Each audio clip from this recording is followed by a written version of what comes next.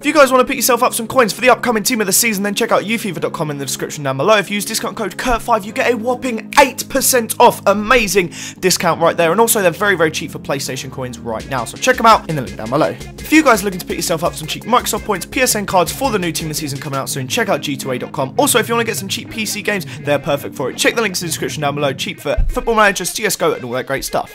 What's up guys, Curtis here and welcome to a brand new overpriced versus affordable. Today we have one that I was so excited to actually record. We managed to get our hands on the man of the match right wing Messi. He hasn't had a right wing card in so long, so when he finally got one, I could not wait to get my hands on him. And we're comparing him with Iturbe. I will explain why as we go through. But what I do want to say is if we could smash 400 likes in this episode, guys, that would be absolutely amazing. Also, if it is your first time watching this channel, go ahead and smash that like button. So, Let's look at some of their details. Now, Messi's price range is 1.5 to 2.2 million on Xbox, whereas it's 8.8 to 13.2 million on PlayStation. But right now, that's still like 20 quid for both prices. So as, as pretty, it's not too bad. He's pretty affordable. Then we have his quality I've given Messi a 5-star quality and Iturbe 4-star quality, and both a 4-star value for money. Now, um, I'm thinking it like Iturbe I am going to explain it as we go through. I will, I will get back to that because I feel like we, we need longer to explain it. So I will quickly show you as well.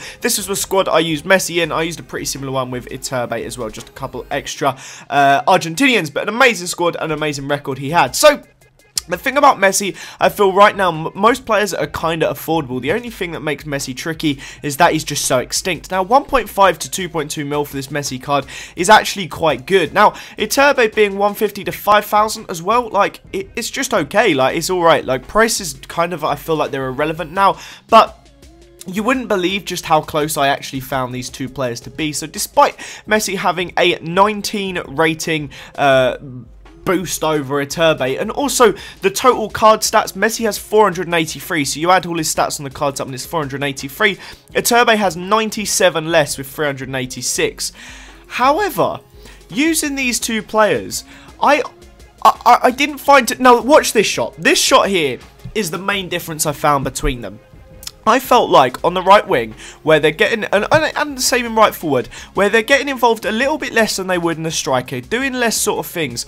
I feel like these players were so similar. Now, they both have 3-star weak foot, both have 4-star skill moves, both left-footed, both have their attacking work rate one better than their defensive work rate. They're both, well, once Messi's 5'6", Iturbe's 5'7", they are so similar in so many ways, and I feel like the only thing Messi had over him was his long shots. Now, Messi's finishing's 99, Iturbe's is 64, but you see in so many of these, Iturbe was getting into great positions. Now, his dribbling was just amazing, and he was just putting all those shots into the bottom corner, as you see there. Every time I had an effort with Iturbe, it went in. His ball control and dribbling was 81 and 84, but I felt like the 4-star skills was big enough of an effect that Iturbe was actually really solid. Now, the only difference between these two is like the really outlandish thing. So Messi's free kicks are sensational. His long shots are sensational. Even his heading is pretty good. He's got 92 heading, which I mean, that's fair enough. But almost everything else, I felt like these two were just the same. They're both ridiculously quick. They're both amazing on the ball. They've both got four-star skills. They're both, their strength's a bit disappointing, but it's just kind of enough. They've both got really good agility. Iturbe there, you saw him hold off a defender and, uh, and just outmuscle him completely. Now, I actually couldn't believe how similar I found these two players to be, but like I said, the only reason why Messi is any better, and I mean, you would expect him to be better, but it's so slim, the only reasons why he's better is those couple of extra, like, just special things, where free kicks, his curve, his crossing, his long shots, the little things where a lot of players just don't have it, he obviously smashes out of the park, but everything else, the general stuff that you want from your right winger, these guys are very, very close. Now, Messi obviously was so fun to use, but I really, really enjoyed using Iturbe too. I hope you guys did enjoy this episode of Overpriced vs Affordable though. I have one coming up with Re uh, Record Breaker Ronaldo. I just need to find someone to compare him to because I honestly don't have a clue. So if you have any suggestions for who I should compare Record Breaker Ronaldo to, please comment that in the in the comments down below. Have a fantastic day though, guys. My new series launches tomorrow at 10 a.m. So make sure you're ready for for it, and I will see you all next time. Bye bye, guys.